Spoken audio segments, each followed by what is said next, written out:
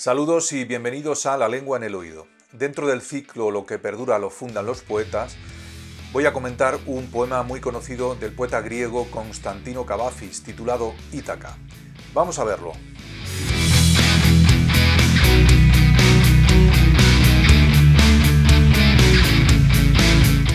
Este poema tiene de fondo como mero pretexto el recorrido que hace Ulises desde Troya hasta su hogar en la isla griega de Ítaca. Recordemos que Ulises es uno de los héroes de la Ilíada, obra escrita por Homero en torno al siglo VIII a.C. Pero el poema en sí mismo defiende una actitud hacia la vida. Ítaca representa metafóricamente cualquier objetivo que nos propongamos, aunque es conveniente aclarar que el texto se refiere a los objetivos del alma, no a los del ego, es decir, a los fines verdaderos, importantes y genuinos del ser humano. Ruega que tu camino sea largo y rico en aventuras y descubrimientos.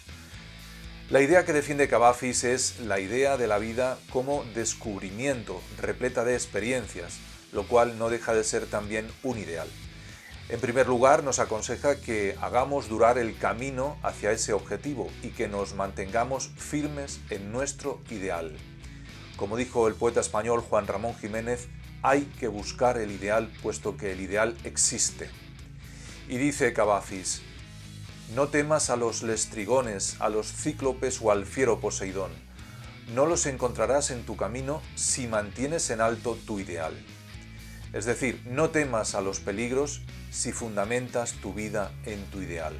Si nos mantenemos con nuestro norte fijo y seguro, no debemos tener miedo a los peligros que nos van a ir rodeando para alcanzar esa meta, puesto que nuestros miedos, nos dice el poema, en realidad proceden de nosotros mismos. Nunca verás a los lestrigones, a los cíclopes o a Poseidón si de ti no provienen, si tu alma no los imagina ruega que tu camino sea largo. Es decir, hagamos que el tiempo de la vida sea durable en el sentido de intenso y provechoso, o que lo hagamos durar en lo posible, porque debemos dar cuenta de nuestro ideal, de nuestro inexcusable e insobornable ideal.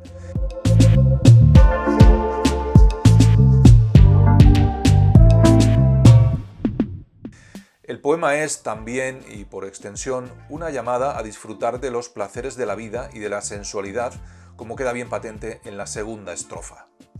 Ruega que tu camino sea largo, que sean muchas las mañanas de verano, cuando con placer llegues a puertos que descubras por primera vez. El texto metafóricamente establece la existencia de una meta, de una Ítaca, de una llegada a puerto, de un objetivo, de un fin de trayecto. Pero al mismo tiempo nos invita a demorarnos en el viaje. No apresures el viaje, nos dice, porque la belleza de la vida está precisamente en ese trayecto, en nuestras vivencias. Lo bello y lo necesario es hacer durar el viaje. Ya habrá tiempo de llegar a Ítaca, ya habrá tiempo de lograr nuestro premio más adelante, si es que llega, lo cual no debe importarnos en definitiva. Lo importante ahora es esto que se nos presenta ante nuestros ojos. Ítaca no es el premio, el premio es el camino. La riqueza está en el mientras tanto, en la duración, no en el punto final.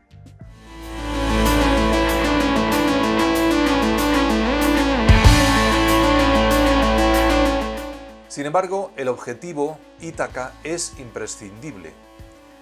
Sin ella nunca lo hubieras emprendido, pero no tiene más que ofrecerte y si la encuentras pobre, Ítaca no te defraudó. Debemos tener un objetivo en la vida.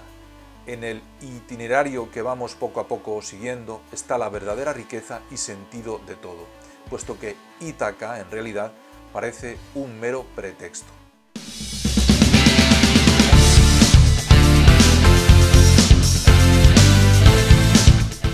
Otra parte, y para terminar, este poema de Cavafis tiene relación con las ideas que el gran Alejandro Jodorowsky ha difundido siempre en sus grandes libros, Psicomagia, La danza de la realidad, El maestro y las magas o Cabaret místico, entre otros. Dice Jodorowsky, Es bueno imaginar los resultados del triunfo, pero también es bueno imaginar los beneficios del fracaso. Con completo desapego, encomienda a lo desconocido el resultado final de tu obra. No la haces por lo que te va a dar, sino porque la amas. Haz todo lo que puedas por construir la vida que quieres tener y olvida los resultados. Más importante que lograrla es irla construyendo. El fruto de la obra no es la obra. Todo lo que exhibes te paraliza.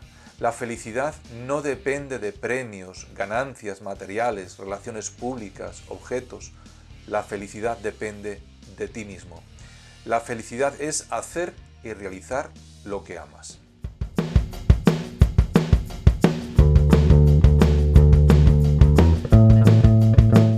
Y es todo, muchas gracias y nos vemos en el próximo vídeo de La lengua en el oído.